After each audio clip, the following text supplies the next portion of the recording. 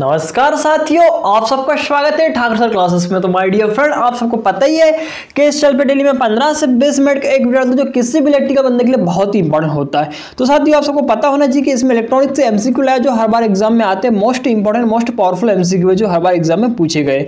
तो आज का भी सेशन वही रहने वाला है कि अपना जो इलेक्ट्रॉनिक्स में जो एमसीक्यू आते हैं, कैसे आते हैं एग्ज़ाम में कहाँ कहाँ से क्वेश्चन उठाता है, उनको आज देखेंगे साथियों। जैसे कि मेरे डेस्कटॉप पर आप देख पा रहे हैं माय डियर फ्रेंड क्योंकि आप सबको पता है एग्ज़ाम बहुत ही पास में आ चुके हैं सबको पता होगा, ठीक है? तो देखिए, पहला क्वेश्चन क्या बोलना चाह रहा है? जैसे कि कल मैंने आपको ट्वेंटी क्वेश्चन करा दिया था, ठीक है? आज का अपना क्वेश्चन देखेंगे साथियों ट्वेंटी वन क्वेश्चन इसमें। जैसे कि आप मैं डेस्कटॉप पे देख पा रहे इसमें कि निम्न में से कौन सा पदार्थ अर्धचालक की भांति प्रयोग किया जाता है? तो माय डियर फ्रेंड सभी को पता होगा सिंपल सा क्वेश्चन है, आसान सा क्वेश्चन है। कि जो अपना ऑप्शन दिया हुआ यहाँ पे तांबा दिया हुआ, प्लास्टिक दिया हुआ, सिलिकॉन दिया हुआ, पितल दिया। तो माय डियर फ्रेंड्स जो अपना सिलिकॉन होता है एक क्या सेमीकंडक्टर है, ठीक है? इसके बारे में आपको पूरा पता होना चाहिए। सेमीकंडक्टर सिलिकॉन, इसका जो सिंबल होता है एस आई से दर्शाते हैं, इसका परमाणु क्रमांक कितना होता है? चौदह होता है, ठीक है? यह एक क्या सेमीकंडक्टर, ठीक है?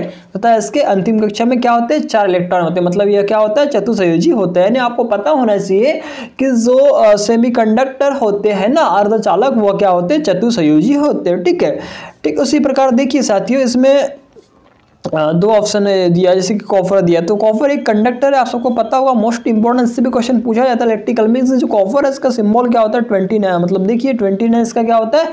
परमाणु क्रमांक क्या होता है? तथा सी यू इसका सिंबल होता है। पता होना चाहिए। ठीक है, तथा इसका गलनांक साथियों, एक हज़ार चौरासी डिग्री सेल्सियस होता है। यह भी आपको पता होगा my dear friend most important है ठीक है, आगे देखिएगा क्वेश्चन बोलना चाह रहा है इसमें, जैसे कि प्लास्टिक तो प्लास्टिक आपको पता है, सबको इंसुलेटर से मतलब कि अपना कुचालक मटेरियल होता है। ठीक है, आगे देखिए, पित्तल। पित्तल पता होगा आपका साथियों? यह क्या देखिए पिताजी। मतलब कि तांबा मतलब कि सी यू प्लस के जेड एन मतलब कि जिंक का यह क्या होता है? मिश्रण होता है। पित्तल ठीक है सात सिक्सटी ज़ीरो मतलब सिक्स ज़ीरो मतलब कि साठ प्रतिशत कॉपर तथा जेड एन मतलब कि चालीस प्रतिशत क्या रहेगा इसमें?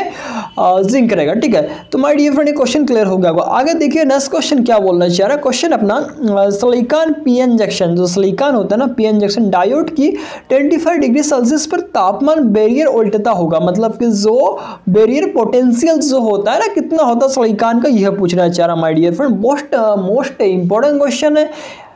ट्रकों में भर भर के पूछा गया है क्वेश्चन बोलना चाहते तो क्योंकि हर बार एग्ज़ाम में पूछा जा चुका है। कई सारी ऐसी एग्ज़ाम है जितनी भी अपनी इलेक्ट्रिकल के ऊपर में जो एग्ज़ाम होती है ना आई डेविस पे जो भी हम देते हैं ना?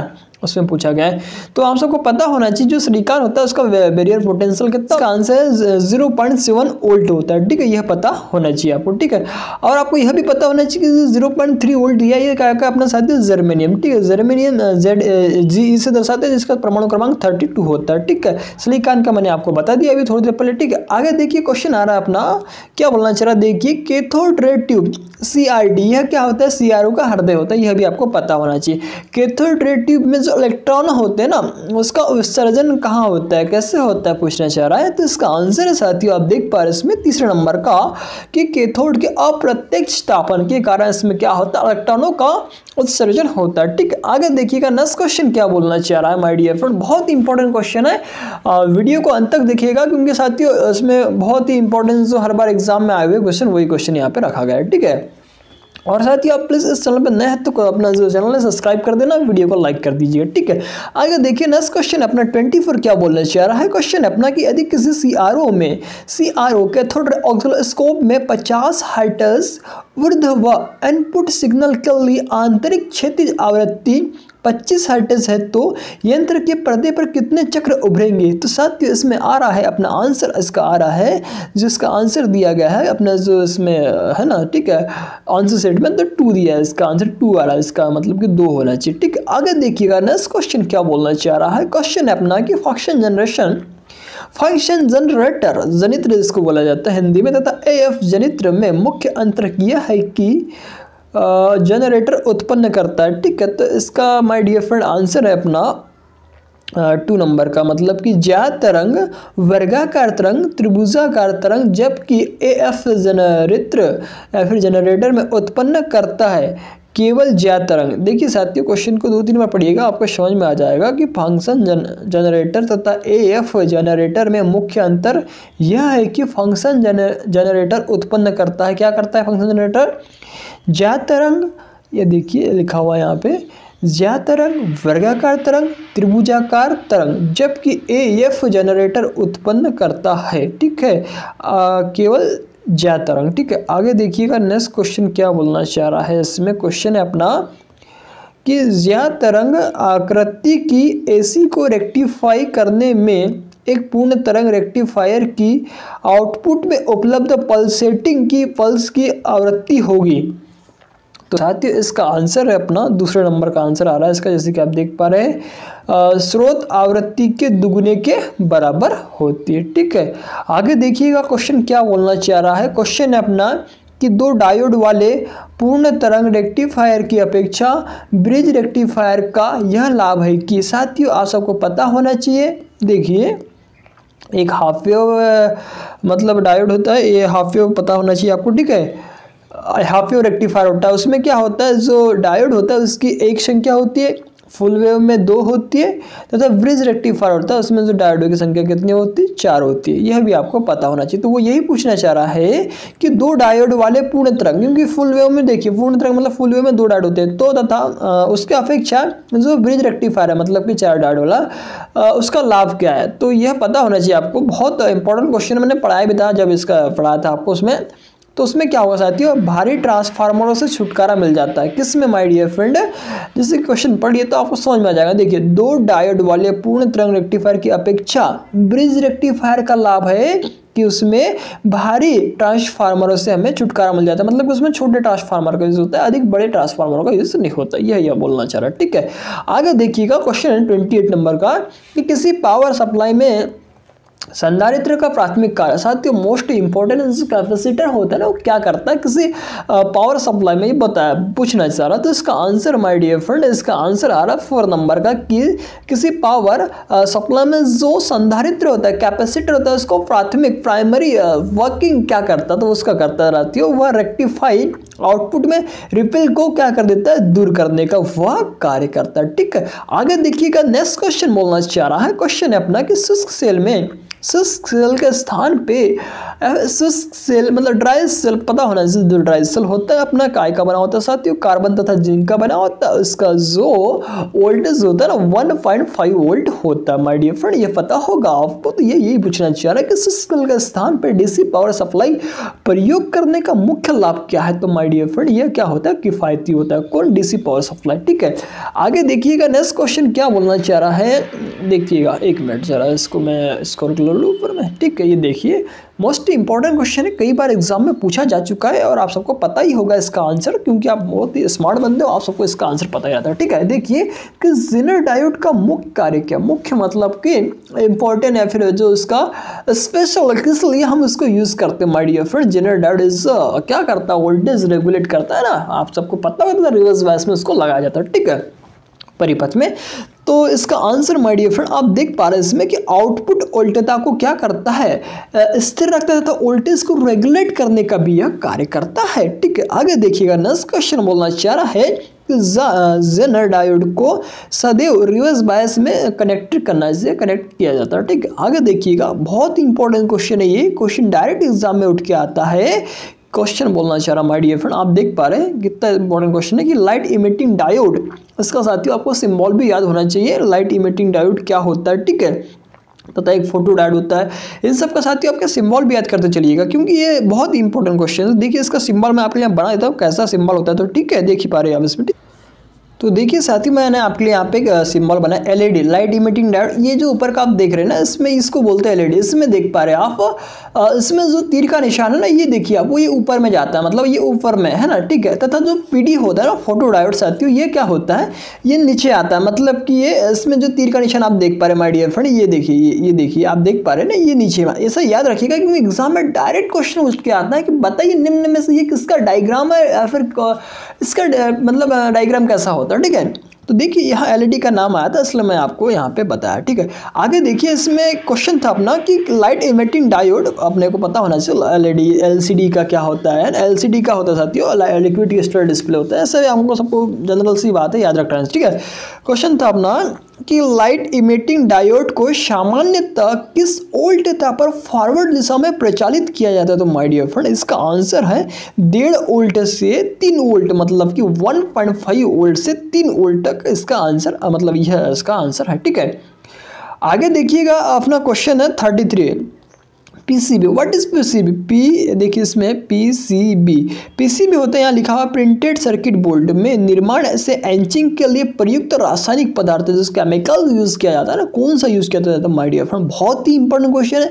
एग्ज़ाम में ना ये ऐसे क्वेश्चन डायरेक्ट पूछा जाता है तो इसका आंसर आपको डायरेक्ट पता होना चाहिए, क्योंकि वहाँ इतना टाइम नहीं होता आपके पास। में एकदम क्वेश्चन देखा और आंसर लगाया, फटाक से निकला वहाँ से, ठीक है? तो इसका आंसर है साथियों, आप देख पा रहे हैं इसका आंसर जो फेरिक क्लोराइड होता है कि जो प्रिंटेड सर्किट बोर्ड होता है ना, वहाँ पे जो एंचिंग मैंने इसका एंचिंग का कल बताया था, इसके पहले वाले वीडियो देखिएगा, क्यों कैसा है, ठीक है? पता होना चाहिए आपको, ठीक है? तो देखिए एंचिंग के लिए प्रयुक्त रासायनिक पदार्थ कौन सा होता है? फेरिक क्लोराइड होता है, ठीक है? और जैसे इसमें आप देख पा रहे साथियों, एक क्वेश्चन यहाँ एक क्वेश्चन बोलना चाहिए ऑप्शन दिया कार्बन टेट्रा क्लोराइड इसको बोलते हैं सी सी एल फोर अधिकतर अधिकतर मतलब इसका यूज़ हम जो क्लास डी फिर फायर या फिर विद्युत उपकरण में जो लगी आग होती है ना, उसको बुझाने के लिए सिस इसको बोलते हैं कार्बन टेट्राक्लोराइड या फिर इसको मतलब एक हेलान टाइप जिसको बोला जाता है, विद्युत उपकरण में लगी आग, या फिर विद्युत तारों में लगी आग को जो है ना, उसको बुझाने के लिए इसका यूज़ किया जाता है सी सी एल फोर का, ठीक है? काफर सल्फेट अमोनियम क्लोराइड ये तो आपको पता होना चाहिए, जो बैटरी होती है ना उसमें उनका यूज़ किया जाता है, ठीक है? आगे देखिएगा क्वेश्चन है अपना। कि एक एन पी एन क्वेश्चन देखिए साथियों एन पी एन ठीक है? ट्रांजिस्टर को पी एन पी ट्रांजिस्टर की तुलना में वरीयता क्यों दी जाती है? My dear friend most important question है और कई बार एग्ज़ाम में पूछा जा चुका है। अब एन पी एन में ऐसी क्या खासियत होती है कि उसका प्रयोग हम मतलब उसकी तुलना में उसको अधिक यूज़ किया जाता है माय डियर फ्रेंड तो उसमें क्या होता है? उसकी प्रचालन टेम्परेचर की बड़ी सीमा होती है मतलब प्रचालन तापमान की बड़ी सीमा होती है। ये जो एन पी एन ट्रांजिस्टर होता है ना, उसको पी एन पी की तुलना में वरीयता दी जाती है, ठीक है? यह भी आपको क्लियर हो गया और थर्टी फोर का आंसर है तीसरे नंबर का, ठीक है? आगे देखिएगा क्वेश्चन बोलना चाह रहा माई डियर फ्रेंड क्वेश्चन बहुत इंपॉर्टेंट है, पूरा देखिएगा वीडियो को, ठीक है? क्वेश्चन बोलना चाह रहा है कि एक ट्रांजिस्टर में होते हैं सपोज़ डेट आपको पता होगा ट्रांजिस्टर क्या है दोस्तों? ये एक सेमीकंडक्टर डिवाइस है मतलब सेमीकंडक्टर यह साथियों का बना होता है? सिलिकॉन तथा जर्मीनियम का बना होता है तथा इसमें हम क्या करते हैं? ट्राइवेलेंट तथा पेंटावेलेंट की इनकी, इनके तत्वों की इनमें क्या करते हैं? अशुद्धिया एम्प्योरिटी को मिलाते हैं, जिससे हमारा पी टाइप तथा एन टाइप अपना पदार्थ बनता है, पता होगा आपको, ठीक है? तो देखिए क्या बोलना चाह रहा क्वेश्चन अपना कि एक ट्रांजिस्टर में होते तो माय डियर फ्रेंड क्या होते बताइए? इसमें दो पी एन संगम होते मतलब कि दो पी एन जंक्शन होते हैं, ठीक है? आगे क्वेश्चन है अपना क्वेश्चन बोलना चाह रहा, देखिए, बहुत इंपॉर्टेंट क्वेश्चन है ट्रांजिस्टर एक क्या है? प्रचालित युक्ति मतलब ट्रांजिस्टर एक क्या है? करंट प्रचालित युक्ति है, ठीक है? तथा जो एससीआर होता है स्लाइकान कंट्रोल रेक्टिफायर जो होता है, वो दोस्तों वोल्टेज तथा करंट डिवाइस करंट प्रचालित युक्ति मतलब डिवाइस बोला जाता है एस को वोल्टेज और करंट और जो ट्रांजिस्टर है ना, वह साथियों करंट प्रचलित युक्ति, ठीक है? आगे देखिएगा क्वेश्चन अपना आ रहा है थर्टी सेवन क्वेश्चन क्या बोलना चाह रहा है कि अर्धचालक में आवेश वाहक होते हैं my dear friend semiconductor या बाइपोलर डिवाइस मतलब बाइपोलर इसलिए बोला बोला जाता है इसको क्योंकि इसमें क्या होता है, जो इलेक्ट्रॉनों का प्रवाह होता है ना उसमें क्या होता है, देखिए इलेक्ट्रॉन तथा होल्स मतलब एन और एक होता है पी ठीक है? इन दोनों के द्वारा उसमें क्या होता है इलेक्ट्रॉनों के इलेक्ट्रॉनों का प्रवाह होता है काय में अर्धचालक आवेश में, है ना? देखिए, जिसमें लिखा अर्धचालक में आवेश का जो प्रवाह होता है इलेक्ट्रॉन तथा होल्स दोनों के कारण होता है। पता होना चाहिए आपको, ठीक है? थर्टी सेवन का अपना तीसरा आंसर ठीक? आगे देखिएगा क्वेश्चन माय डियर फ्रेंड बहुत इंपॉर्टेंट क्वेश्चन है कि शुष्क सेल के स्थान पर डीसी पावर सप्लाई प्रयोग करने का मुख्य लाभ, वही क्वेश्चन रिपीट हो गया यहाँ पे। इसमें इसका आंसर किफ़ायती होते हैं, ठीक है? थर्टी एट में टू आ रहा है थर्टी नाइन का देखेंगे। आंसर क्या है? क्वेश्चन पढ़ लेते हैं पहले हम। डायोड का फॉरवर्ड प्रतिरोध होता है डायोड का जो फॉरवर्ड प्रतिरोध होता है ना, वह क्या होता है? निम्न होता है, ठीक है? तथा रिवर्स में क्या होता है? वह अनंत होता है। कब? रिवर्स में, ठीक है? तो तथा फॉरवर्ड में क्या होगा? निम्न होगा। माय डियर फ्रेंड यह इसका आंसर है, ठीक है? याद रखिएगा इंपॉर्टेंट क्वेश्चन आगे देखिए माय डियर फ्रेंड निर्वात ट्यूब क्या होती है? निर्वात ट्यूब में आपको पता होना चाहिए क्या होता है? उसमें ना कि निम्न धारा मतलब कि लो करंट तथा उच्च वोल्टेज डिवाइस या युक्ति बोला जा सकता है उसे, ठीक है? निर्वात ट्यूब जो होती है, उसमें निम्न करंट तथा उच्च वोल्टेज युक्ति है, ठीक है? फोर ज़ीरो का आंसर टू ठीक आगे देखिएगा नेक्स्ट क्वेश्चन बोलना चाह रहा है इसमें कि डीसी शक्ति आपूर्ति इकाई में फ़िल्टर क्रिया को सुधारा जा सकता है। जो फ़िल्टर में क्रिया रिपल्स जो होते हैं, उनमें कैसे सुधारा जा सकता है? क्वेश्चन था अपना देखिए कि डीसी शक्ति आपूर्ति में फ़िल्टर क्रिया को सुधारा जा सकता है।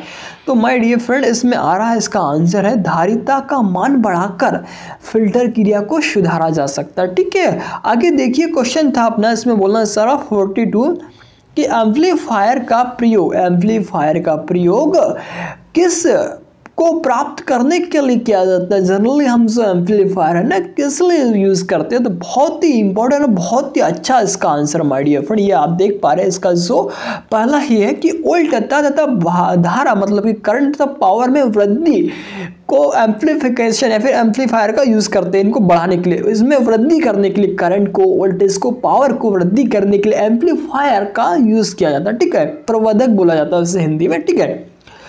आगे देखिएगा क्वेश्चन था अपना इसमें, क्या बोलना चाह रहा है? फोर्टी थ्री ये कॉमन इमीटर एम्पलीफायर में कट ऑफ़ फ्रिक्वेंसी पर ऑल्टेज गेन अपने अधिकतम मान का क्या रह जाता है? तो माय डियर फ्रेंड यह भी इंपॉर्टेंट क्वेश्चन है तो पता रहना चाहिए इसके बारे में आपको। तो इसका आंसर है, जैसे कि आप देख पा रहे हैं zero point seven zero seven इसका आंसर है। और साथियों, आपके माइंड में एक बात क्लिक करी होगी, ये जब ज़ीरो पॉइंट सेवन ज़ीरो देखा होगा तो जो अपना इसी का आर एम एस मान होता है रूट मैन इसको इसको जिसको बोलते हैं आर एम एस वो याद आ रहा है, इसलिए मैं बता दे रहा हूँ साथियों, ऐसा रिलेट करते हुए चलेंगे ना, आप कभी ज़िंदगी में नहीं भूलेगा, याद रखिएगा, जो अपना इसी का आर एम एस मान होता है रूट मैन स्क्वायर जो होता है, उसका मान में zero point seven zero seven होता है, ठीक है? अब इसके साथ में इसका बात आया तो एक एवरेज वैल्यू भी होती है, ठीक है?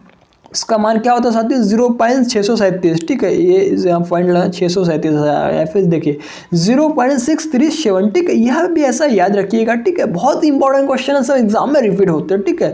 आगे देखिएगा क्वेश्चन था अपना इसमें फोर्टी फोर बोलना चाह रहा है कि टेट्रोड वॉल्व में निम्न प्लेट वोल्टेज पर अवलक्षण क्या होगा?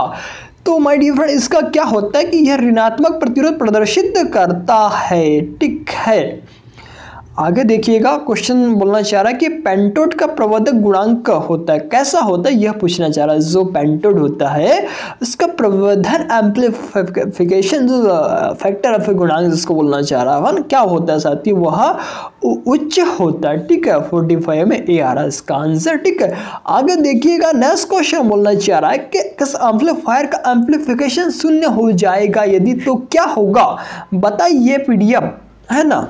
ठीक है? तो आपको बताना है कि जब किसी एम्पलीफायर का एम्पलीफिकेशन शून्य हो जाएगा तो क्या होगा साथियों उसमें? ग्रिड बायस कट ऑफ़ मान से क्या हो जाएगा? वह अधिक हो जाएगा। अगर आपने पूरा थ्योरी अच्छे से इसका पढ़ा तो आपको स्वाभाविक सी बात है, पूरा चीज़ समझ में आ गया, ठीक है? आगे देखिएगा फोर्टी सेवन क्वेश्चन क्या बोलना चाह रहा है, इसमें देखिएगा आगे। साथियों क्वेश्चन तो बहुत है इसमें मैं, लेकिन आपको आज फिफ्टी क्वेश्चन कराऊँगा मतलब कि ट्वेंटी फाइव कल करा दिया था ट्वेंटी से ट्वेंटी फाइव करा दिया था, ठीक है? क्योंकि ही मेरे पास थोड़ा टाइम एडजस्ट करना बहुत मुश्किल हो जाता है। तो देखिए फोर्टी सेवन क्या बोलना चाह रहा है? एम्पलीफिकेशन का मात्रक है। जो एम्पलीफिकेशन होता है, उसका कोई मात्रक नहीं होता, पता होना चाहिए, ठीक है? आगे देखिएगा क्वेश्चन था अपना इसमें कि ट्रांजिस्टर एनपीएन धारा के एम्पलीफिकेशन गुणांक में स्थिर राशि क्या होती, बताइएगा मुझे, ये बताना चाह रहा है। तो देखिए सो फोर्टी एट क्वेश्चन इसका आंसर है कि कलेक्टर वोल्टेज इसका आंसर आ जाएगा कैसे क्या बोलना चाह रहे देखिए ट्रांजिस्टर जो होता है, आपने देखा है एनपीएन बोलना चाह रहा है एनपीएन ठीक है? में एनपीएन में धारा एम्पलीफिकेशन गुणांक में स्थिर राशि क्या होती है? कलेक्टर वोल्टेज होता है, ठीक है? आगे देखिएगा क्वेश्चन बोलना चाह रहा माई डियर फ्रेंड क्या बोलना चाह रहा है इसमें कि ग्रिड पर ऋणात्मक वोल्टेज बढ़ाने से प्लेट धारा पर क्या प्रभाव पड़ेगा? इसमें क्या होगा? इस पर कोई प्रभाव देखिए इस पर क्या होगा? इनमें से कोई नहीं आ गया। जैसे ऑप्शन दिए, कम होगी वृद्धि हुई इनमें ये कोई ऑप्शन नहीं, इसका मतलब कि इसका आंसर है इसमें, इनमें से कोई प्रभाव नहीं पड़ेगा, ठीक है? आगे देखिए क्वेश्चन साथियों, बहुत ही इंपॉर्टेंट क्वेश्चन है इसका। देखिए कि ट्रायो ट्रांजिस्टर ट्रायोड की शून्य सिग्नल स्थिति का दर्शाता है। मतलब क्या दर्शाता है? तो वह सिग्नल ऑल्टेज शून्य है, यह बताना चाह रहा है। ठीक है? तो माय डियर फ्रेंड आज का अपने ट्वेंटी क्वेश्चन आपको मैं क्लियर करा दिया। ट्वेंटी ट्वेंटी फाइव मतलब कि ये फिफ्टी तक क्वेश्चन होगा ठीक है? कल आपको मैं देखिएगा ये जो अपने बहुत ही इंपॉर्टेंट क्वेश्चन है, जैसे कि आप देख पा रहे हैं, इसमें कि अर्धचालकों में परमाणु बंद परस्पर कैसे, परमाणु का परस्पर कैसे होता है सेतु रेक्टिफायर कैसे मतलब बहुत सारे इंपॉर्टेंट क्वेश्चन जो हर बार एग्ज़ाम में पूछे गए, ठीक है? तो ठीक है साथियों, कल फिर मिलेंगे प्लीज़ इस चैनल को आप सब्सक्राइब कर देना, नए हैं तो और वीडियो को ज़रूर लोगों तक शेयर करें, क्योंकि आप सबको पता है, बहुत ही इंपॉर्टेंट क्वेश्चन मैं यहाँ पर डालते रहता हूँ डेली की क्लास आप सबको पता है, इस पर डालती है तो ठीक है साथियों, आप सबको मेरा प्यार भर नमस्कार।